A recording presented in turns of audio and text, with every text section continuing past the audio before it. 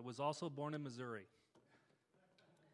And that's about where my similarity ends. I know nothing about script writing. Um, the last time I spoke to a school was about five years ago. I was dating a woman who had a child, and there was that whole bring your parent to class and tell what you do. And I make games for a living, and so they thought that'd be cool. So I volunteered to go for her child. And I went to the school, and I, I brought along a demo, look, not, like, not too much unlike this, where I had graphics and cool stuff going on. So all the kids loved me more than the firemen. one of the kids asked what I what my job was, and I said I was an entrepreneur. And I went up to the blackboard and I was going to write entrepreneur, but then I thought, oh, I'll be clever. Does anyone know how to spell entrepreneur? And of course, they were five or something, and so they didn't know how to spell entrepreneur. So the teacher chimed in and said, I. Which reminds me of the fact that when I was in school myself, in high school, I was such a poor student that I barely graduated at all. In fact, in my senior year, I had to actually do correspondence courses to have enough credits to graduate. I then went on to a college, uh, much like this one, only they didn't have standards. And and I and I dropped out. I actually I spent all my time doing creative writing because that interested me, and I did nothing else. And they didn't let me actually take any computer classes because I didn't have the prerequisites. And I dropped out because I knew I was wasting my time and I was wasting their time because I knew what I wanted to do. I wanted to create these interactive environments where people could create their own stories. And back in those days, we're talking 19 years ago now, I'm 40, 19 years ago, um, those were a little thing called text based games. And I am a big believer in the uh, attention span of Americans. Um, I build products that people don't play, they actually live in for long periods of time. Is there anyone in this audience that has spent, say, eight years in one of my games? Yeah, there's always one in every crowd. Um, we have people who, to this day, will spend upwards of 400 hours a month in a game. Now, I want you to think about this because there are only about 700 hours in a month what this actually means. To do that, I created uh, what we in our industry call a platform, which means one sits down and makes a whole bunch of code. And we build an engine, and an engine is a thing that lets you build something wonderful on top of it. And what we built was a game called Gemstone about 19 years ago. And it was a text based game. So it's like a book, but you're the main character. And everyone's the main character from your perspective, right? yeah. And people will go into this world and they will live there and they will grow there and they will have their own hero's journey within that environment. And the people who actually produce the world where this happens are called game masters in our parlance. And we had a team at the time of about uh, eight when we started. It swelled to about 60 by the time you got involved. And these days, there are well over 300 in my company. Um, and they spend their time building the environments that these people play in and the storylines, and not in the traditional way in which a, which a script is written or a book is written, because in a script and a book, you have control over what someone does. But this guy here will do whatever he fucking wants, and I have no control over that. So, what I have to do is create an environment, I have to create obstacles and circumstances, and then when people engage against those things, I have to be prepared for any potential outcome. So it's like writing a storyline where anything could happen and you have no control over it. And it takes a team to do that. And I should say that it, at some level, being an entrepreneur is all about actually the team. Entrepreneur conjures this idea of the Wild West and the lone gunslinger, but it really isn't because no success that I've had, and I'll do about 20 million this year, is attributed just to me. It's to the people that I brought with me, that I met and convinced that my way forward was a good way to go.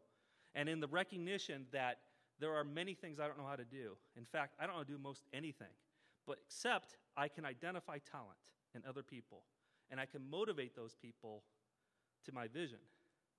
And that's the key to success in business It's not what you do, it's what you do with the people that you convince to come with you. And there's a second part to this, which is the sharing part. Because although I started the company from a, and it's still a privately held company, at this point I own about 30% of it. All the rest of it is owned by everyone else in the company. And as time goes by, I basically just start giving out more and more of the company in, term, in, in, you know, stock and incentive stock options and that sort of thing. So that everyone is, as we say in business, rowing in the same direction. And that's really the key to the whole thing.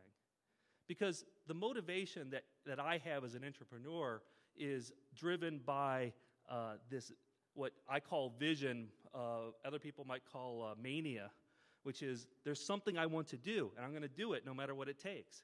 And I didn't care about making money, except for the fact I wanted to have things.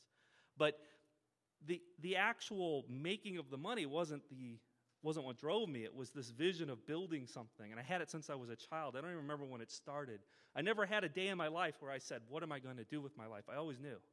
Even when computers were an impractical thing for something like this, back in the days of the TRS 80 Model 1 and that sort of thing. And, but I knew what I wanted, and I just stuck to it, and I kept doing it, and the rest followed. But it didn't follow until I learned that it wasn't a solo operation, until I brought other people with me. And then I realized that not everyone has the same drive, right? Not everyone is built to be an entrepreneur.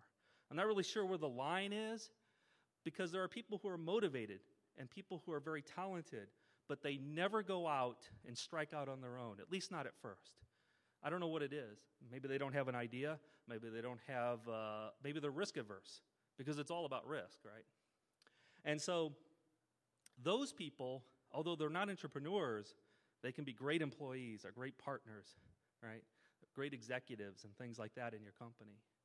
And many of the, of the top um, executives in my field uh, at other companies, like uh, John Smedley, who's the CEO of Sony Online, they did EverQuest and all of those.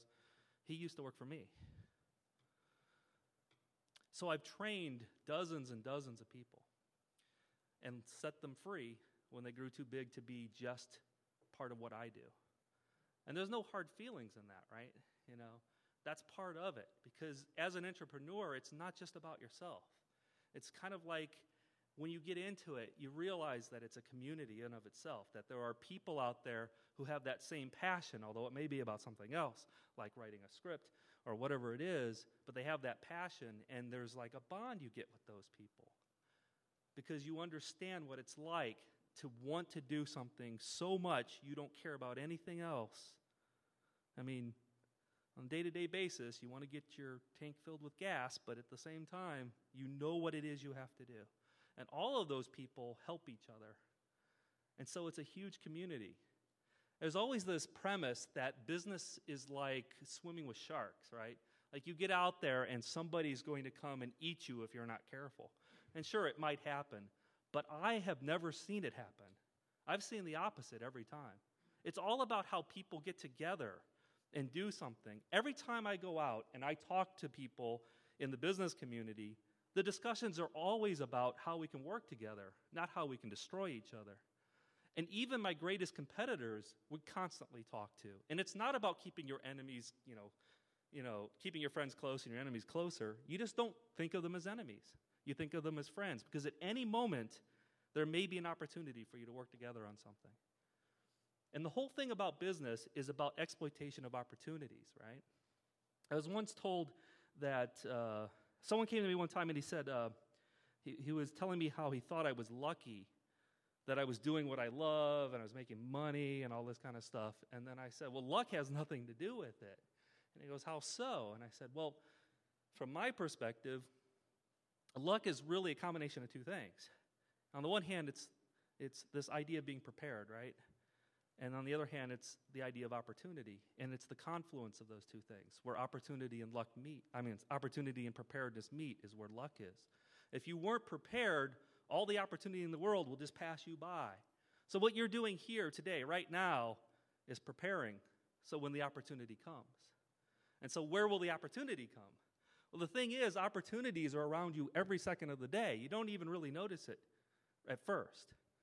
But as you start preparing more and start talking to more people or just seeing things in the world that should be a different way, like what's his face who came up with IKEA. I mean, how many times have you tried to put together a piece of crap furniture, right? You know, and someone said, "Well, I could do it better." You know, it was just the simplest thing. Starbucks was the same way. You know, where coffee houses were were kind of like not places where people wanted to hang out. And then what's his face? I'm bad with names. He went, he went overseas and saw that you know there was this whole community built around the idea of uh, of coffee houses, and he built Starbucks and that sort of stuff. Opportunities are everywhere but you have to be prepared for it. In my case, it wasn't school. I was a terrible student. I hated school, cursed every day I was in it. And I left. And I have since convinced many, many other people to leave school. So I'm really a terrible person to be here right now. Uh, many of the people who work for me were in college when I discovered they were talented, and I said, You're wasting your time being in college. But these were truly exceptional people who really didn't belong in college. They were wasting their time because they already knew what they had to do, they were already there. Not everyone's like that. So there are other people I have who have gone to, on to great schools. I have artists who went to SCAD, for instance, which is an awesome college for artists down in Savannah. And, um, and of course, I've also sent people to school, like my executive vice president, I sent to get a Wharton MBA, which was one of those accelerated programs where you do it in like 30 minutes and it it may sound like, like that's cheap, but I mean, it was like, it was like a year, a two year program where they take the, the four year degree and compress it into two years. And it's all executives, people who actually are in the business field to begin with. So it was an amazing experience. And Wharton actually used my company for many of their, uh, for some of their research projects and that kind of thing. So it was very helpful to us as well.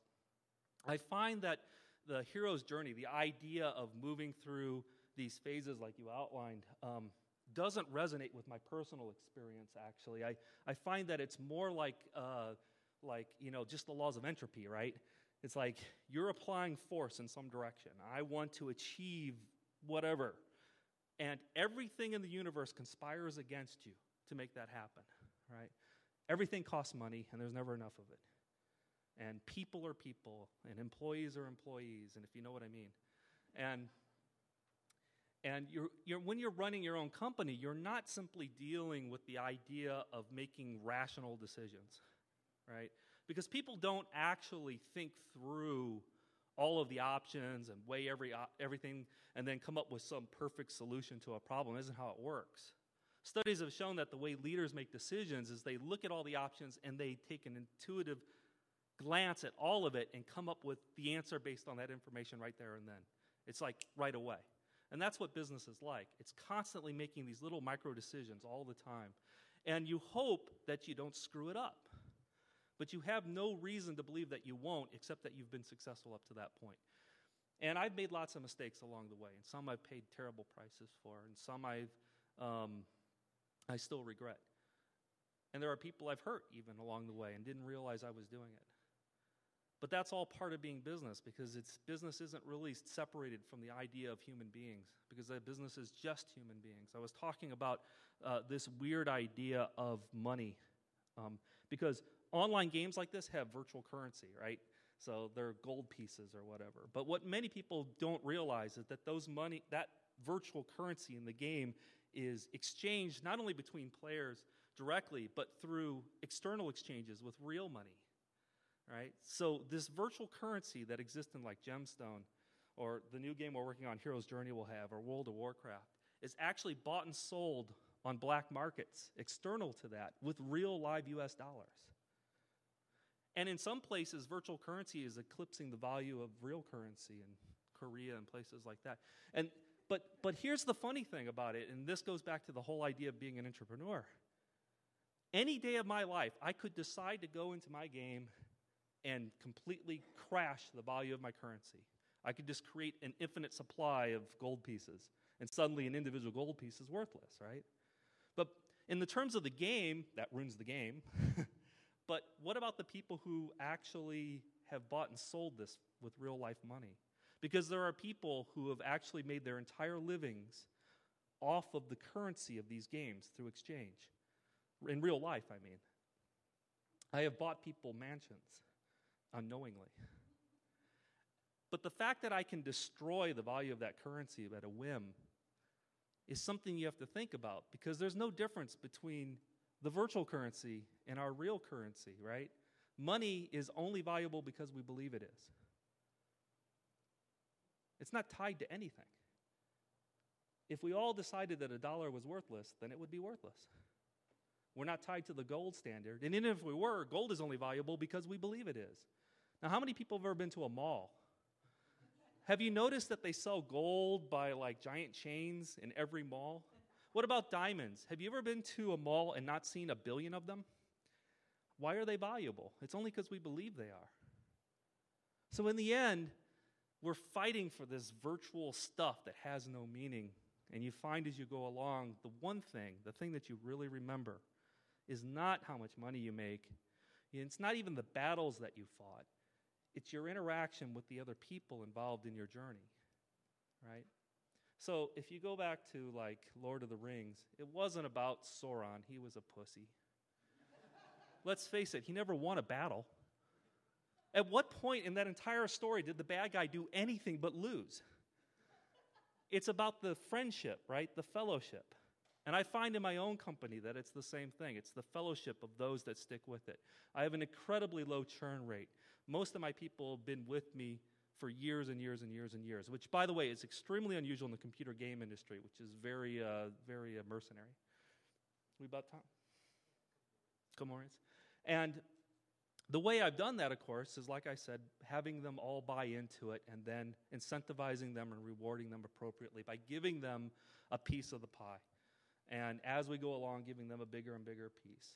Even if that means I have a much, much smaller piece, because it doesn't matter. Because if I can just make the pie really, really big, then I don't mind having a small slice. But it isn't just about money either. It's about the fact that people can come to me with their own ideas and uh, my favorite thing is when someone builds a big presentation, especially with a PowerPoint, and they want to make a big presentation to me. And so we'll go into a conference room and they'll start going through it. And about halfway through, I'll usually go, Why are you showing me all of this? And they'll get all like, Oh, what'd I do? I'm like, Why didn't you just say you wanted to try something?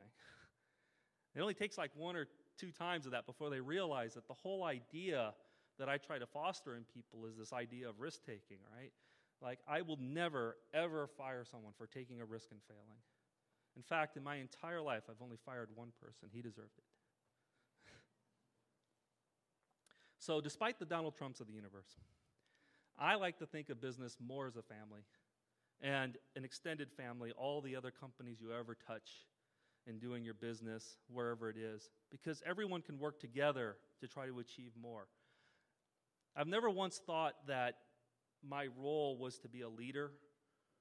I never thought I want to go and lead a whole bunch of people. But in the end, leadership really is all about just vision, right?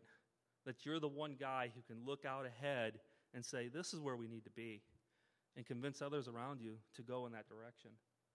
I spend my life now traveling around the world and doing demonstrations. Um, I stand up in, in, front of large groups, and I don't do any talks like this. I use h- highly technical talks, and I show demonstrations of this thing behind me. Um, but it's been eye opening. This past year, I've been all over the world. Last week, I was in Paris, and the week before that, I was in Kiev. And uh, in December, I was in Moscow. Places I never thought I would stand. I was standing in the center of Moscow thinking, wow, this is where I used to think about our missiles being targeted.